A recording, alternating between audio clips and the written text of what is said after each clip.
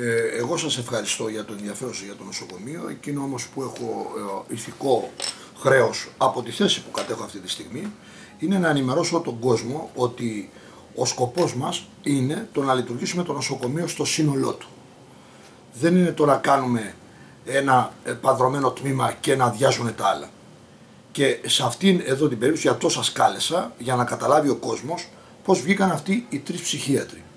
Καταρχάς πρέπει να ξέρετε ότι έχουμε υποχρέωση σαν ελληνικό κράτος πανελλαδικά να, να λειτουργήσουν ψυχιατρικές κλινικές με σκοπό την επανένταξη αυτού του πληθυσμού. Στο νοσοκομείο Κορίνθου όπως σε όλα τα νοσοκομεία ήρθανε κονδύλια από ΕΣΠΑ ευρωπαϊκών προδιαγραφών και το νοσοκομείο Κορίνθου πήρε ένα εκατομμύριο ευρώ για να ανοίξουμε την ψυχιατρική κλινική. Βασική προϋπόθεση το λοιπόν για να ανοίξει μια κλινική πρέπει να πλην από το οίκημα να υπάρχει και το ανθρώπινο δυναμικό. Να υπάρχουν γιατροί και νοσηλευτές. Και όπως γνωρίζετε στο νοσοκομείο Κορίνθου δεν λειτουργεί ψυχιατρική κλινική παρόλο που πήραμε τα λεφτά και τα επενδύσαμε. Συνεπώς έχουμε υποστεί κυρώσεις και ο αριθμός 3 των ψυχιάτρων ήταν αναγκαίο κακό σύμφωνα με αυτά τα οποία υπογράψαμε. Στο νοσοκομείο υπηρετούσαν δύο ψυχίατροι όπως γνωρίζετε, ο κύριος Διάκουρας και η κυρία Πρίσκου. Η κυρία Πρίσκου βγήκε παλιά θέση της και αυτές είναι αμαρτίες του παρελθόντος, διότι το νοσοκομείο Κορίνθου δεν άδειασε ξαφνικά από γιατρούς έτσι τυχαία. Άδειασε διότι εφαρμοστήκανε παλιές θέσεις, αδειάσαν δηλαδή, φύγανε άνθρωποι που είχαν καταθέσει συγχρόνως ταυτόχρονα το 11 μαζί με το νοσοκομείο και κάποια άλλα νοσοκομεία. Και από την παιδιατρική χάσαμε τρεις μόνιμους γιατρούς οι οποίοι φύγανε διότι βγήκανε παλιές θέσεις. Και ξαφνικά βρεθήκαμε χωρίς παιδίατρο. Άρα δηλαδή αυτή τη στιγμή οι θέσεις οι οποίες είναι κενές στην παιδιατρική είναι αμαρτίες παρελθόντος όταν δεν έχει γίνει ούτε ένας διορισμός από το 2011. Επανερχόμαστε το λοιπόν στην ψυχιατρική. Αυτή τη στιγμή υπηρετεί μόνο ο κύριος Λιάκουρα, διότι η κυρία Πρίσκου βγήκε η θέση της και πάει στον Ερυθρό. Συνεπώς έχουμε μόνο ένα ψυχίατρο. Με ένα ψυχίατρο είναι δυνατόν να ανοίξει κλινική; Δεν είναι ποτέ δυνατόν. Γι' αυτό ακριβώς βγήκαν οι θέσεις τρεις, οι οποίες ήταν επιβεβλημένη ανάγκη από την Ευρωπαϊκή Ένωση και μαζί με αυτές τις τρεις θέσεις βγήκαν και άλλες πέντε θέσεις. Μονάδα, παιδίατρος, ουρολόγος, γυναικολόγος και παθολόγος. Και όσο αφορά το κομμάτι πάλι ψυχιατρική, δεν φταίμε εμείς που αρνήθηκε η κυρία Παπαβασιλείου να έρθει. Και παρά τα αυτά γίνονται προσπάθειες από τα γύρω ε, νοσοκομεία να βρεθεί κάποια γιατρός, μόνιμη γιατρός, να αποσπαστεί για την, για την παιδιατρική. Να γυρίσουμε λίγο στην παιδιατρική. Ναι. Εντάξει. Ε, το μόνο σίγουρο είναι και το άρθρο δεν είχε το σκοπό να μην ανοίξει ψυχιατρική κλινική. Όλοι θέλουμε να λειτουργήσει ψυχιατρική. Βεβαίως. Για να γινόμαστε σαφέστεροι. Ε, το θέμα είναι ότι είναι τουλάχιστον ξενίζει το γεγονός ότι υπάρχει προκήρυξη για τρεις θέσεις στην ψυχιατρική και μόλις μία θέση στην παιδιατρική.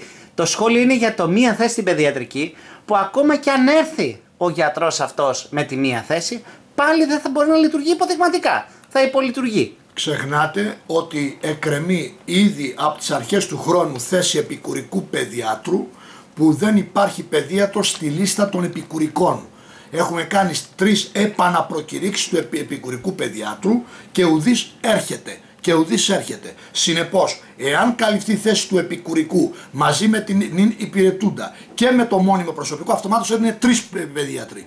Και αν θα έρθει και η απόσπαση της διευθύντριας, σε βαθμό διευθύντριας από όμορο νοσοκομείο, δεν χρειάζεται να πούμε πώς και τι κτλ.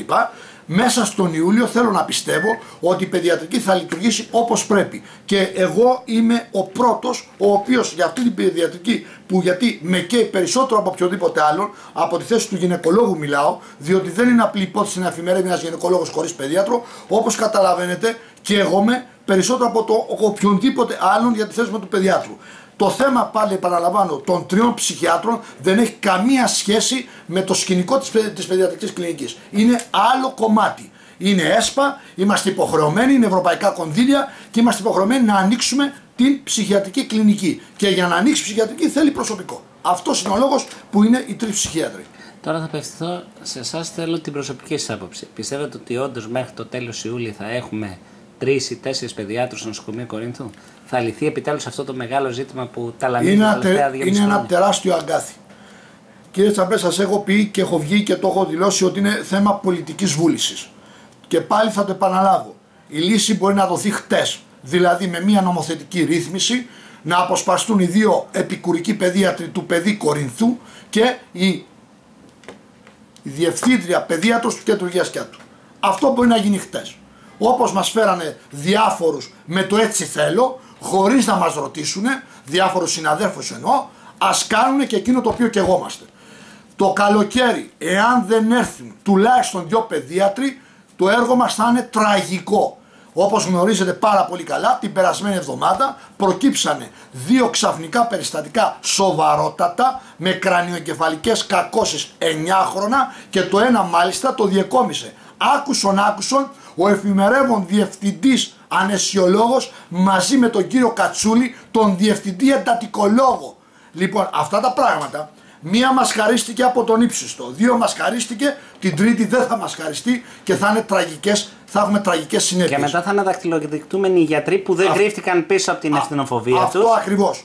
Θα ήθελα να παρακαλέσω αυτή την ίστατη στιγμή τον Υπουργό και τον Υπεάρχη να σταθεί με πάρα πολύ ευλάβεια πάνω σε αυτό την αχίλιο πτέρα του νοσοκομείου Κορίνθου και να κάνει αυτή τη τρίτη νομοθετική έστω για το τρίμηνο του καλοκαιριού έστω μέχρι να έρθουν οι άλλες θέσεις. Διότι κακά τα ψέματα, αυτές οι μόνιμες θέσεις πριν, πριν το φθινόπωρο αποκλείεται να ολοκληρωθεί η διαδικασία. Όπως και να έχει το θέμα. Όσο και γρήγορα να γίνουν τα βήματα. Το γρήγορο βήμα όμως, το εδώ και τώρα είναι αυτό. Η νομοθετική ρύθμιση να αποσπαστούν τουλάχιστον να καλύψουν στοιχειοδός είτε τα απογεύματα είτε εκ περιτροπής τουλάχιστον πέντε εφημερίες ο καθένας τους καλοκαιρινούς μήνες. Θα έχουμε σοβαρό πρόβλημα αν δεν γίνει αυτό.